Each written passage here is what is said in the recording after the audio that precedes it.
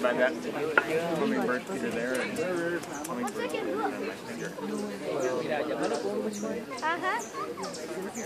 Con Y apuesto, mire, que tienen dos.